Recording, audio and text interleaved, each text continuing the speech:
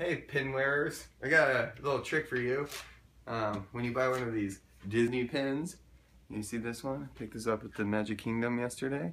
Going to uh, Hollywood Studios today. You just find one of these, uh, you know, hotel pieces of paper, you know.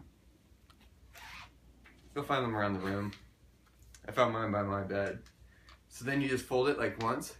Let's see, can you get a close up of that, Eileen? All right. And then you fold it again.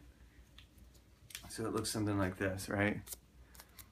And then you mark the spot where you want to wear it on your shirt.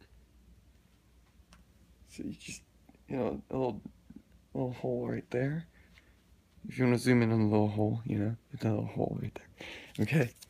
And next what you want to do is you want to just poke it through you know? Like this but don't hurt yourself should put a warning on this video. There you go, like that. Then you just want to go through the backside. So you, I came up with this idea because I was wearing a pin yesterday. My shirt was getting a little saggy. So this is what it's going to look like, but it's going to be on the inside. Kind of messed that up. Now I just put it back through that hole I made. Can, I close up of that hole? Like this. You put the pin. you go like this.